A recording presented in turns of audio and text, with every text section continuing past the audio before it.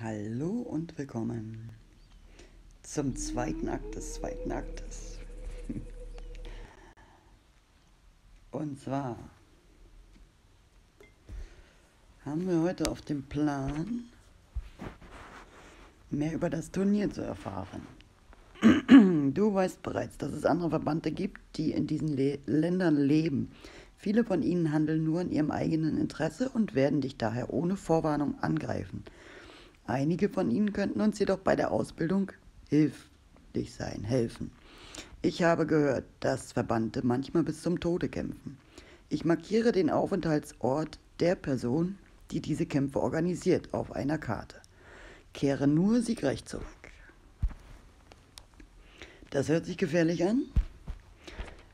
Deswegen habe ich jetzt mal die Level 2 Kleidung angezogen, also die nicht die einfachste, sondern die darauf kommt. Habe mir zwei Einhandschwerte gebaut und noch eins, was ich zu liegen hatte. Und ich nehme mir mal ein paar Honigfässer mit, um nicht wieder am Ende mit zu wenig dazustehen. Wie ja schon passiert. So, haben wir hier ein ausgeschlafenes Tierchen? Ja, haben wir. Nehmen wir mal die Teva mit. So.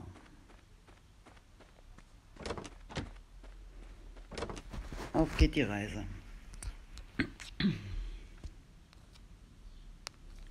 Wo sollen wir? Wo sollen wir? Da sollen wir. Kampfclub.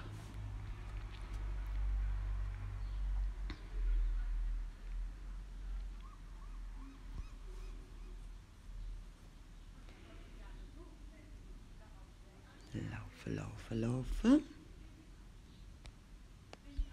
laufe. So.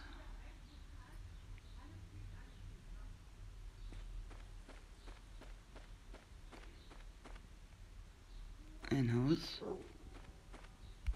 Hallo.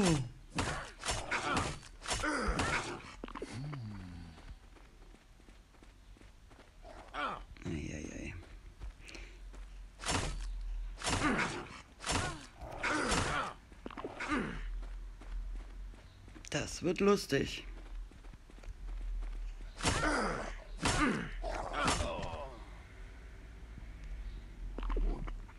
Nicht schlecht.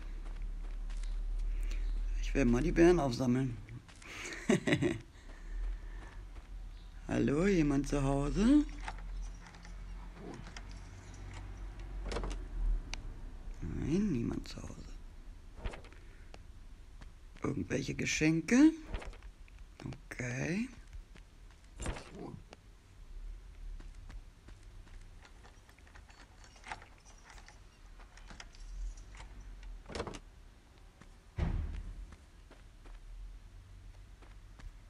Achso, der Rabenkäfig, okay.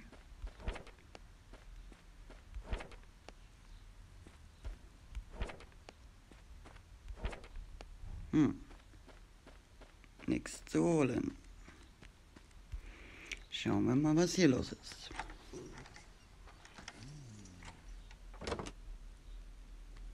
Ah ja, da steht sogar wer. Haust du mich auch um? Genug. Ah, ich gebe auf. Na, das hört sich doch gut an. Du hast zuerst deine Waffe erhoben. Sind alle hier soweit gefährlich? Die meisten sind es. Auf diese Weise ist es sicherer. Was willst du hier?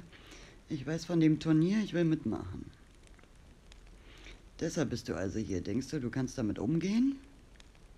Ich meine, du kämpfst ziemlich gut. Ich schätze, es ist ein Rückkampf wert. Geh nach Hause, ich schicke einen Raben mit Anweisungen.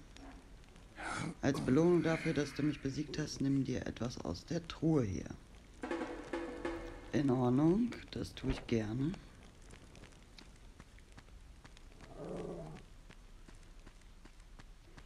Mal gucken, was er drin hat.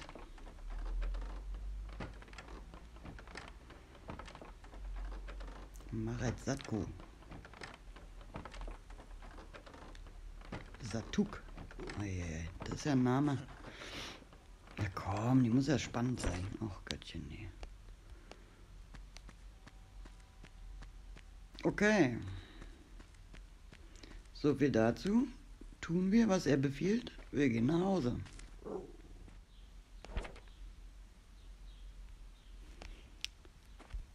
So.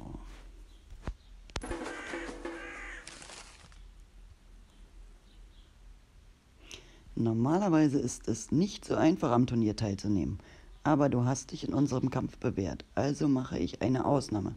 Wettbewerber können kämpfen nur im gegenseitigen Einvernehmen. Wir mögen bis zum Tode kämpfen, aber wir respektieren uns gegenseitig.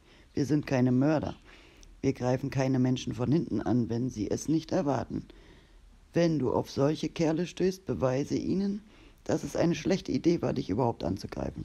Melde dich, wenn du dich um einige solcher gewissenlosen Seelen gekümmert hast. Das habe ich bereits mehrfach getan.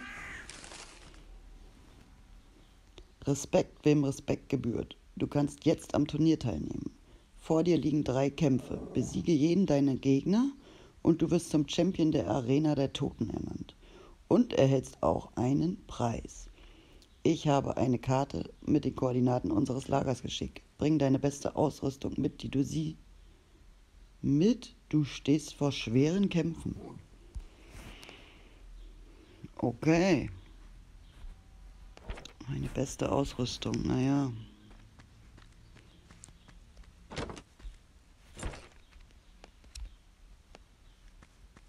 Probieren wir es doch mal.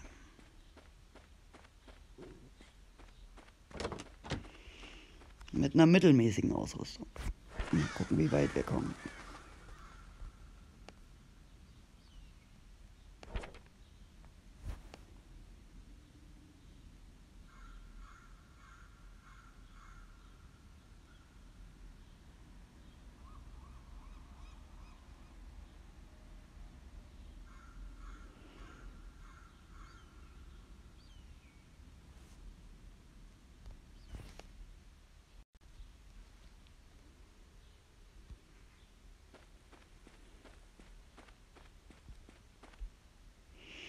Ich will kämpfen. Nenn mir die Regeln. Du musst drei Gegner besiegen. Der Kampf darf nur innerhalb des Steinrings stattfinden. Verlasse den Kreis und du verlierst. Stirb und du verlierst. Der Sieger gewinnt einen Titel und einen Preis. Das sind alle Regeln der Arena der Toten. Betrete den Preis und los geht's. Puh, ich bin gespannt. Das ist, ich kann nicht mal rausgehen, um mich zu heilen. Aber doch, das geht.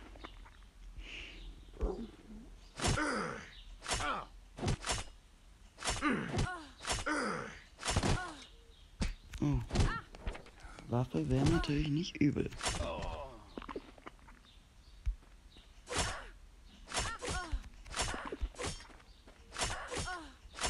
schon ein bisschen stärker.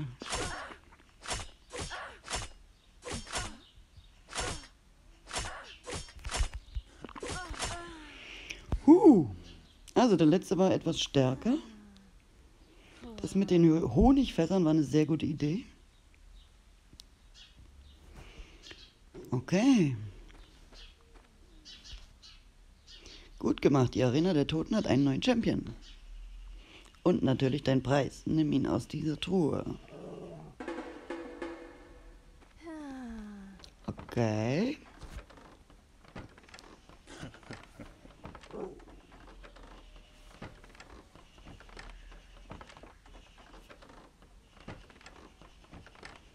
Spannung. Oh ja, ein guter Fallchen. Ein paar genietete Stiefel. Naja gut, das Ding hier ist jetzt nicht, gehört nicht zu meinen Favoriten. Gut. Kleines Resümee. Mit dieser Level 2 Rüstung funktioniert super. Könnte auch mit der einfachen klappen. Wenn ihr euch, wie gesagt, genug Honigfässer mitnehmt. Hm. Ich weiß jetzt nicht, wie viel ich gebraucht habe. Eins, zwei, vier, fünf, schätze ich mal. Und das einhändige Schwert, also eins insgesamt, denke ich mal, braucht ihr. Ich hatte ja noch ein angefangenes. Damit ist das Ganze auf jeden Fall zu bewältigen, würde ich mal sagen. Jo. Dann sehen wir uns gleich an der Base. So, da sind wir wieder. Und holen uns unsere Belohnung. Haben wir Platz für eine Belohnung? Ja. Zack. So, was blinkt denn hier alles? Meine Güte.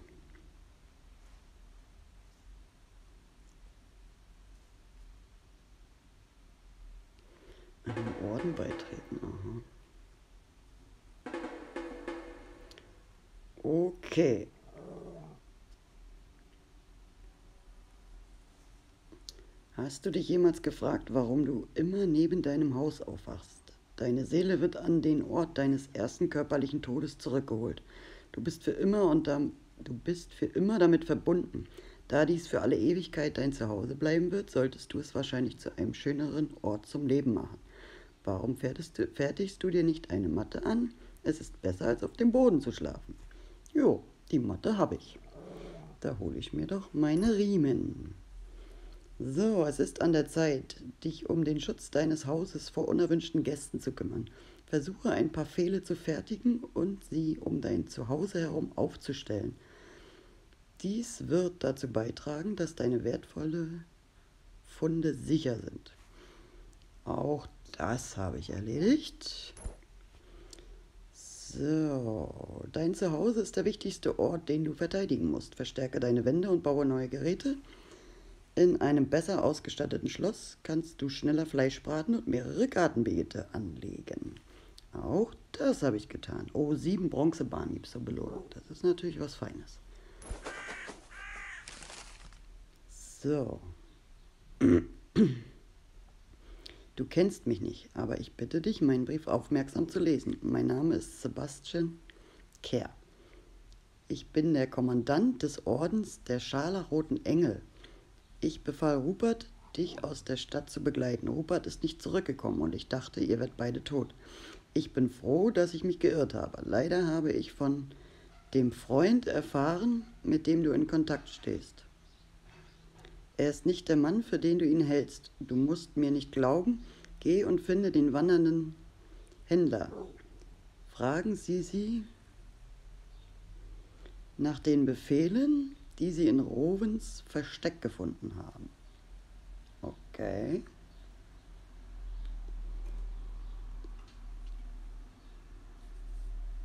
Das ist doch eine schöne Aufgabe fürs nächste Mal.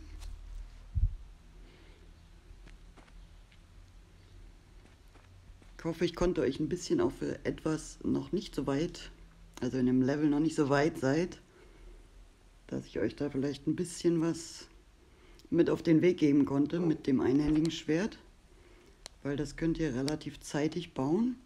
Und diese Ressourcen müsst ihr halt immer sammeln, damit ihr das auch sammeln und herstellen, damit ihr die Schwerter, Schwert und Dolch, das ist immer das, was ich sogar mit meinem Level 75 immer noch gerne verwende. Die großen Sachen nehme ich dann lieber für den, fürs Verlies oder für wirklich schwere Events und Gegner nachher. Gut, ich bedanke mich wie üblich fürs Zuschauen und bis zum nächsten Mal. Bye bye.